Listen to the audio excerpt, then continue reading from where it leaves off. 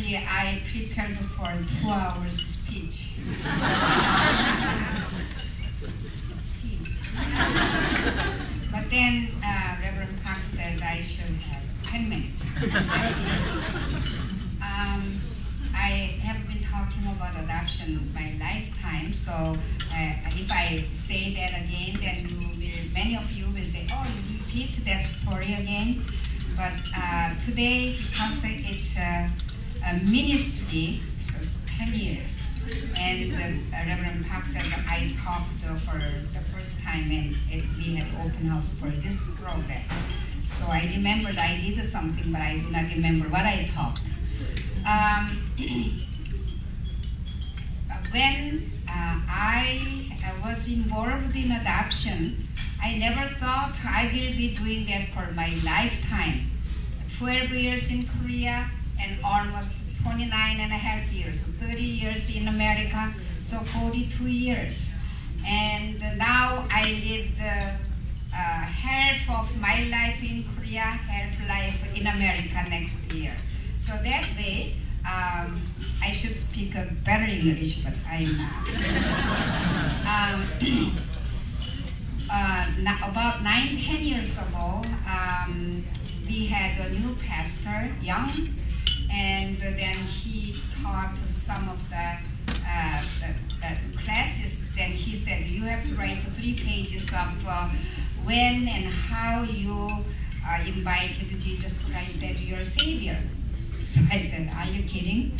Why I have to share with you about my own uh, uh, uh happenings. I didn't.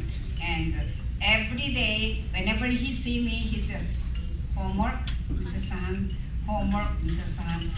So I did start to write. Then I started to write from young age, five uh, years old, I went to the uh, Sunday school because I couldn't speak well at the time. Very slow and uh, mumbled a lot. So um, I went back then, and then I wrote down and wrote down, and then I came to Korean War. This year is the 60th year after Korean War, and I was 11 and a half years old at the time. And that Korean War changed my life, maybe many of your life, especially adopted people and adoptive parents. Your life has been changed because of Korean War. You were adopted, you became American citizen, and adoptive parents, you become the parents of Korean-born children. So your culture is a mixture of American and Korean. And my life has been all depending on Korean War because my father raised me from very young age to become a lawyer. And I couldn't talk very well. So that's why he sent me to church. And during the Korean War, I saw so many babies were abandoned on the snowbank. And I didn't know they will die within two, three hours on the snow, and no one could take care of them. And uh, I love the children. I took care of my own siblings, younger uh, siblings. I couldn't help. But I had those guilt feeling so much. And that made me to become a social worker.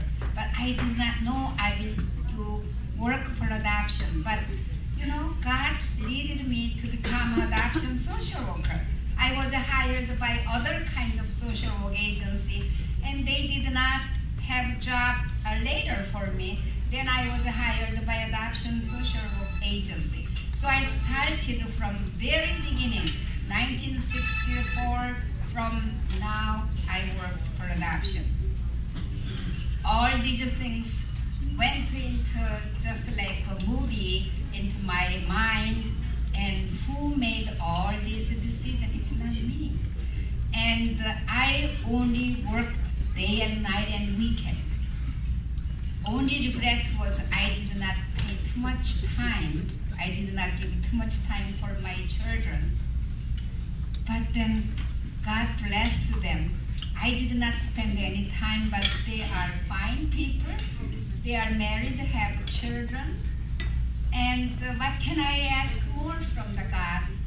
he took care of them. I never did anything for them. I worked day and night and weekends for adoption. So my son, uh, I adopted, but he thought uh, I worked adoption agents, but he never thought he was adopted by us. He thought that was mom's work. So that way, adoption was my whole life.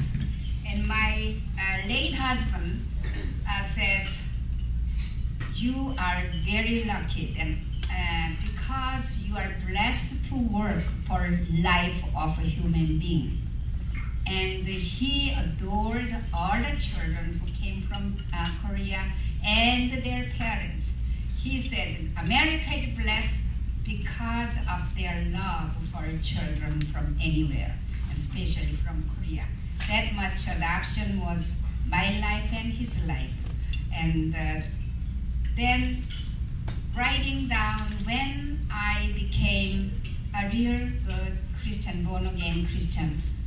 And uh, I was spiritually uh, changed many times, but this time, writing down my own life, I found out God blessed me and He used me for those children who are dying on snowbank. So that way, I cried so many nights, writing two lines of the stories, and then cried two hours. So almost after three weeks, I finished not three pages, 78 pages.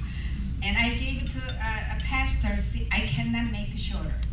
And he wrote down with a red pencil, Did you see Jesus Christ at this time? Did you know this was from him? And all those questions, all red paper. And said, You have to answer again for this. Second page was 34 pages. After all those were done, I felt free. Uh, when we are really had touched love from God and from our Heavenly Father, and we had a strong feeling of forgiven, forgiveness. And uh, then I felt to free my life. You, I don't know how many of you felt free like I did I am always in the morning waking up from sleep, I'm free. Then all my time, effort, energy went to young people. I don't know how many of you are complaining because you were adopted into American family home. There are some people do that, but when we look back, there is no progress. There is no happiness my good uh, gift from God was I never look back because I did my best for each time whenever I was in the situation, like school and job, every single time I was just inside of the work. So I never had anything to regret what I did before. If I do, I have a few things but I don't stay there. I always think about today and tomorrow.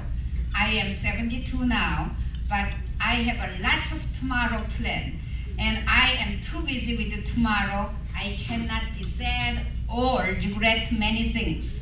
So um, some of our young people say, oh, I complain, adoption agency, I'm not happy, all those.